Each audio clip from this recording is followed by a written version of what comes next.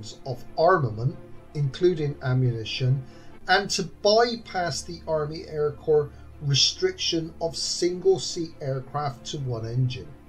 Kelsey was looking for a minimum of a thousand pounds of armament. Kelsey and Saville aimed to get a more capable fighter, better at dogfighting and at high altitude combat. Specifications called for a maximum airspeed of at least 360 miles an hour at altitude and a climb to 20,000 feet within six minutes. The toughest set of specifications US Army Air Corps had ever presented.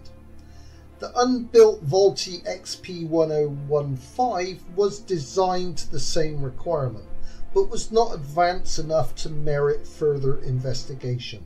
A similar single